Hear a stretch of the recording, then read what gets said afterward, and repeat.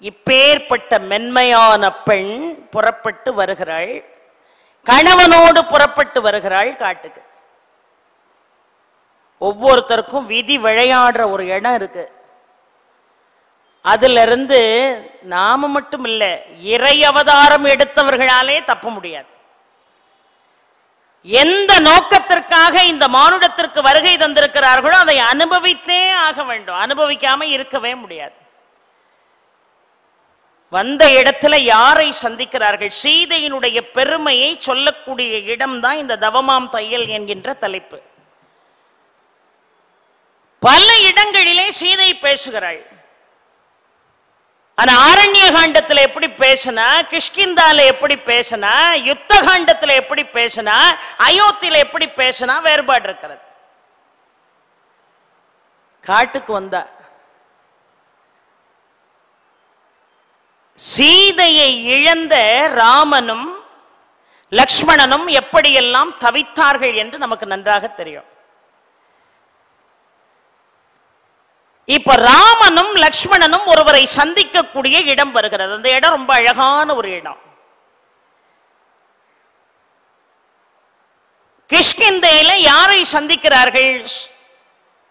சுக்ரீவனுடைய அமைச்சனாக விளங்கக்கூடிய ஆஞ்சநேயனை சந்திக்கக்கூடிய இடம். சீதையனுடைய நிலைப்பாடுகளை அவளுடைய நெறிகளை உணர்த்தக்கூடிய இடம் இப்பொழுதுதான் ஆரம்பமாகுது. முத முதல்ல ஆஞ்சநேயர் ராமனை பார்க்கிறார் லக்ஷ்மணனை பார்க்கிறார். அதுக்கு முன்னாடி அவங்க ரெண்டு பேரும் எங்கேயும் யாரையும் சந்தித்ததாக இடமும் இல்லை கம்பனில் அதற்கு வாய்ப்பும் இல்லை. காப்பியத்தை சரியா படிச்சவங்க எல்லாருக்கும் அது நல்லா தெரியும். ராமனும் லக்ஷ்மணனும் ஆஞ்சநேயனை சந்திப்பது அதுதான் முதல் முறை. ஆஞ்சநேயனும் ராமனையும் லக்ஷ்மணனையும் சந்திப்பது அதுதான் முதல் முறை. ராமனும் லக்ஷ்மணனும் கிஷ்கிந்தைக்குள்ள நுழைந்த உடனே ஒரு பயம் வருகிறது. யாருக்கு? சுக்ரீவனுக்கும் ஆஞ்சநேயனுக்கும். இவர்கள் வாலிக்கு சார்பாக நம்மை வீழ்த்துவதற்காக வருகை தந்திருக்கிறார்களோ என்கின்ற பயம் வருகிறது. சுக்ரீவன் ஒழிந்து கொள்கிறான் சுக்ரீவன் சார்பிலே இப்பொழுது அனுமன் வந்து ராமனை சந்திக்கிறார். ராமன் முன்னால் வந்து நிற்கிறான் வேற ஒண்ணும் இல்லை மொத்த வார்த்தை எவ்வளவு தெளிவா கம்பன் சொல்கிறார் பாருங்க. இப்ப யாராவது நம்ம வீட்டுக்குள்ள திடீர்னு வராங்கன்னு வைங்க நாம என்ன சொல்லுவோம்? நீங்க வந்த வரவு நல்வரவுன்னு சொல்லுவோம். அதான முறை. அதான அழகு. நீங்க வந்த வரவு நல்வரவு என்று சொல்வோம் ஆனா ராமனை முதல் முதலாக சந்திக்கக்கூடிய ஆஞ்சநேயனுடைய வாய்மொழி என்ன தெரியுமா? நீங்கள் வந்த வரவு துன்பமில்லாத நல்வரவாகட்டும் என்று சொல்கிறான் வெறும் நல்வரவுன்னு சொல்லல துன்பமில்லாத நல்வரவாகட்டும்னா இவனுக்கு உள்ளுக்குள்ள ஒரு பயம் இருக்கு. ஒருவேளை இவர்கள் வாலியை சார்ந்தவர்களாக இருப்பார்களா? சுக்ரீவனுக்கும் வாலிக்கும் பகை அண்ணன் தம்பி ரெண்டு பேருக்கும் பகை. இவர்கள் மூலமாக நமக்கு ஏதாவது ஆபத்து வந்து விடுமா என்பதை தெரிந்து கொள்ள வந்து நிற்கக்கூடிய ஆஞ்சநேயனுடைய வார்த்தை உங்கள் வரவு துன்பமில்லாத நல்வரவாகட்டும். உடனே இவர் கேட்டார் நீ யாருன்னு கேட்டார். ஒரே ஒரு வார்த்தை தான் நீ யார்? ஆஞ்சநேயன் சொல்வது போல கம்பன் ஒரு இடத்தை சொல்கிறார். மஞ்சன திரண்டகோல மேனிய மகளிர்க்கெல்லாம் நஞ்சனும் தகையவாகி நழிரிரும் பனிக்கு தேம்பா கஞ்சம் ஒத்தலர்ந்து செய்ய கண்ணை யான் காற்றின் வேந்தனுக்கு அஞ்சனை வயிற்றில் வந்தேன் நாமமும் அனுமன் என்பேன். மஞ்சன திரண்ட கோல. மேகத்தினுடைய நிறங்கள் எப்பேற்பட்ட நிறங்களும் அதை போன்ற மேனியனே என்று பொருள். மஞ்சன திரண்ட கோல. மழைக்காக மேகங்கள் திரண்டு நிற்கும் பாருங்கள் இப்பொழுது மழையை பொழியட்டா? இன்னும் கொஞ்ச நேரத்தில் மழையை பொழியட்டா என்பது போல மேகங்கள் கருமையாக திரண்டு நிற்குமே அப்பேற்பட்ட மேனியனே என்று சொல்கிறார். மஞ்சன திரண்ட கோல மேனிய. மகளிர்க்கெல்லாம் நஞ்சனம் தகையவாகி நழிரிரும் பனிக்கு தேம்பா கஞ்சமு தளர்ந்து செய்ய கண்ண. தாமரை மலரின் மீது பனித்துழி விழுந்தது என்று சொன்னால் அந்த பனித்துழி அந்த மென்மையான இதழ்களின் மீது நிற்கின்ற பொழுது எத்தனை சுகங்களை பெறுமோ அதை போல கருணையை ஒட்டுமொத்தமாக வீசக்கூடிய கண்களை கொண்ட தாமரை கண்ணினன் ராமன் என்று பொருள். யான் காற்றின் வேந்தனுக்கு அஞ்சனை வயிற்றில் வந்தேன் நாமமும் அனுமன் என்பேன். நான் வாயுபுத்திரன் என் தாயின் பேர் அஞ்சனை. நான் அஞ்சனை வயிற்றில் வந்தேன் என்னுடைய பெயர் அனுமன். இதுல விசேஷமான இடம் எது? மஞ்சன திரண்ட கோலமேனிய மகளிர்க்கெல்லாம் நஞ்சனும் தகையமாகி நஞ்சனும் தைக தகையமாகிங்கிற இடம் தான் மிக உன்னதமான இடம். மஞ்சன திரண்ட கோலமேனிய ராமனை பார்க்கின்ற பொழுதே தருகின்றது. நழிரும் பனிக்கு தேம்பா கஞ்சமுத்தலிருந்து செய்ய யான் காற்றின் வேந்தனுக்கு அஞ்சனை வயிற்றில் வந்தேன் நாமமும் அனுமன் என்பேன். செல்ஃப் இன்ட்ரடக்ஷன் அதுல ஒன்றும் பெரிய விஷயம் இல்லை மகளிர்க்கெல்லாம் நஞ்சனும் தகையவாகி. இந்த வார்த்தையை கேட்ட உடனே ராமன் அப்படியே ஆடி போனார் ஏன்னா ராமனும் லக்ஷ்மணனும் ஆஞ்சநேயனை சந்திப்பதற்கு முன்னதாகவே நடந்த விஷயம் எது? சூர்பனகை சந்திப்பு இல்லையா? சூர்பனகை எப்படியெல்லாம் பேசக்கூடாதோ அப்படியெல்லாம் பேசினார் ராமனிடம். லக்ஷ்மணன் கையால அவளுக்கு எவ்வளவு பெரிய தண்டனை கிடைச்சதுன்னு நமக்கு தெரியும். ராமன் நினைத்து பார்க்கிறார் இவனை சந்திப்பதற்கு முன்னதாக சூர்பனகை என்னை சந்தித்து என்னிடம் பேசக்கூடாத முறைகளிலே பேசி லக்ஷ்மணன் கோபம் கொண்டு அவளுடைய ஒற்றை மார்பையும் மூக்கையும் அறுத்தறிந்த விஷயம் இங்க இருக்கிற ஆஞ்சநேயனுக்கு எப்படி தெரியும்னு நினைச்சான். மகளிர்க்கெல்லாம் நஞ்சனம் தகையமாகி கருணையை பொழியக்கூடிய கண்கள் தான் உன்னுடைய கண்கள். பன்னீரை மென்மையாக சுமக்கக்கூடிய தாமரை மலரை போன்ற அருள் வீசக்கூடிய கண்கள் தான் உன்னுடைய கண்கள். ஆனால் உன்னை வேறு விதமாக பார்க்கக்கூடிய பெண்களுக்கெல்லாம் உன்னுடைய அழகிய கருணையின் வடிவமான கண்கள் மாறாக நஞ்சை கக்கக்கூடிய கண்களாக மாறிவிடும் என்று பாடுகிறார். இது எப்படியா இவனுக்கு தெரியும்னு ராமன் அதை உணர்ந்து கொண்டு லக்ஷ்மணன்ட்ட சொன்னாப்பா இவனை சாதாரண ஆளுன்னு நினைக்காத. இவன் ஒரு குரங்கு வடிவத்தோடு இங்கே வந்து நிற்கிறான் என்று நினைக்காதே கல்லாத கலைகளும் வேத கடலும் என்னும் காட்சி சொல்லாலே தோன்றிட்டன்றே. இந்த ஒரு சொல்ல வச்சு இவன் யாருன்னு நான் முடிவு பண்ணிட்டேன்னார் ராமன். கல்லாத கலையும் வேத கடலுமே என்னும் காட்சி சொல்லாலே தோன்றிட்டன்றே யார்கொலி சொல்லின் செல்வன்? என்று காட்டு அடுத்த வார்த்தை சொன்னார் பாருங்க வில்லார் தோள் இழைய வீர விரிஞ்சனோ விடைவலானோ? என்று கம்பன் பாடுகிறார்.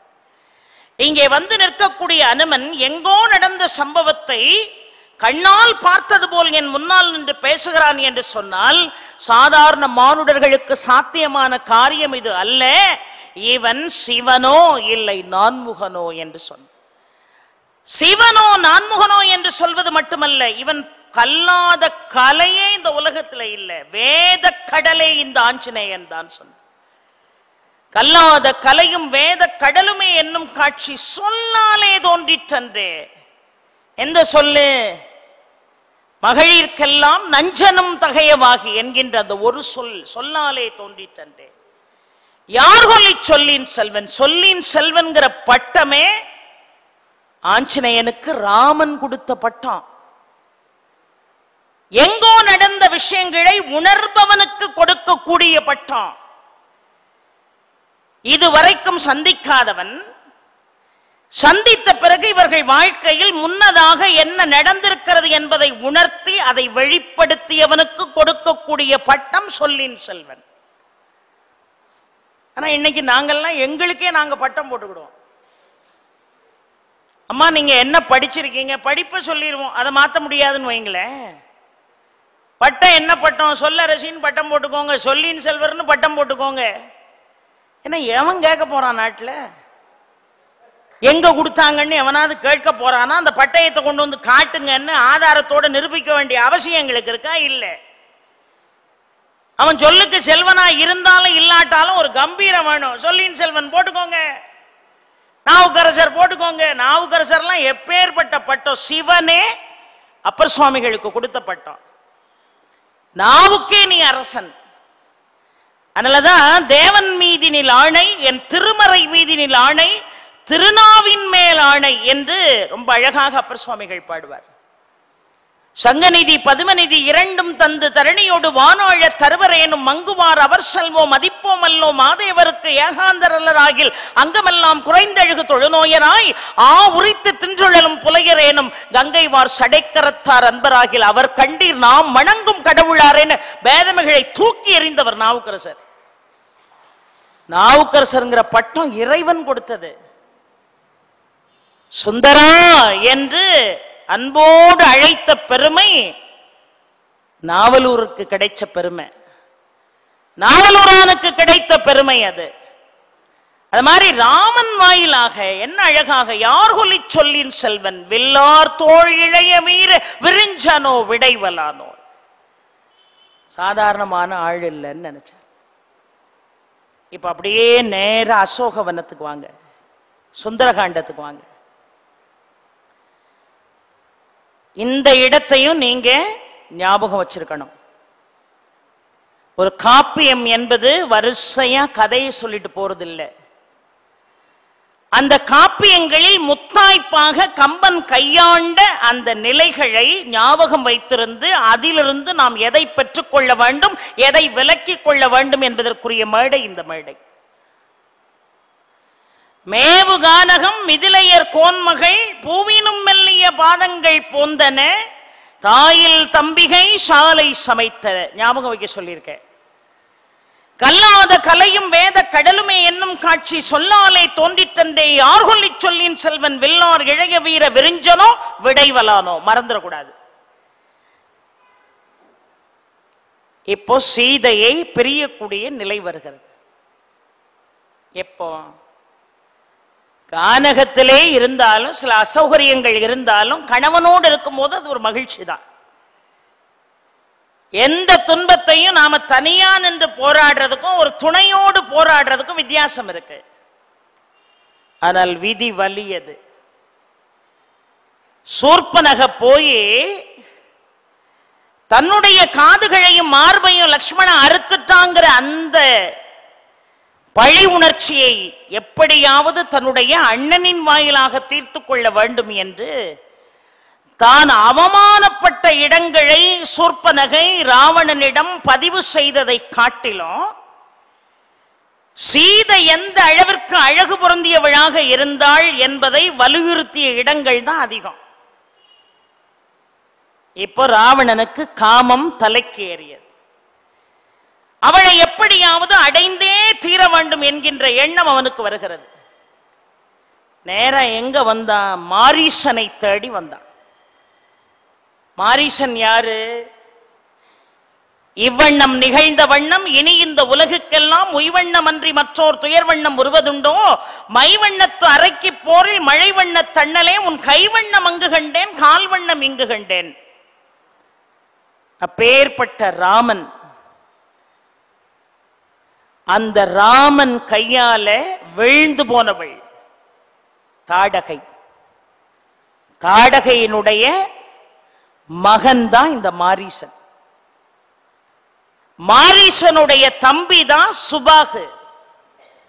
ராமனுடைய வில் இந்த தாடகை சுபாகு என்கின்ற இருவருடைய உயிரையும் குடித்த விஷயம் நமக்கு தெரியும்.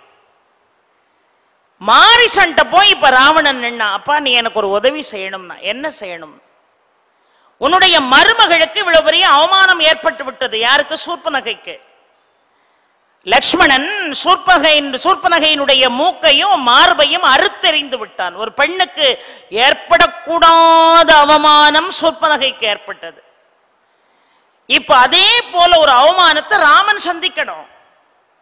ஒரு பெண்ணால் ஒரு பெண்ணுக்கு ஏற்பட்ட அவமானத்தை இன்னொரு பெண்ணுக்கு ஏற்படுத்தினாதான் அவமானத்தினுடைய தராதரம் என்ன கனாதனம் என்னன்னு தெரியும்னா. இப்போ என்ன செய்யணும்னா மாரிசன்? நீ போய் சீதையை நான் தூக்கி கொண்டு வருவதற்கு நீ எனக்கு உதவி செய்யணும். சூழ்ச்சியின் அடிப்படையில் உதவி செய்யணும்னா. மாரிசனை பாருங்கப்பா. என்னுடைய தாய் தாடகைய வதம் பண்ணான ராமன். என்னுடைய தம்பி சுமாகுவை அழித்தானே ராமன் அதற்கு பழிக்கு பழி நான் தீர்த்து விடுகிறேன்னு சொல்லல மாரிசன்.